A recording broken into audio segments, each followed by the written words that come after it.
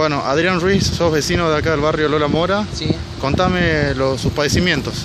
Bueno, mirá, tenemos acá todo lo que es el basural, eh, todo lo que es monte por el costado, del hipódromo, del club, lo que anteriormente era un pasaje que unía al barrio, en la actualidad es algo que no lo podés transitar ni en vehículo ni a pie.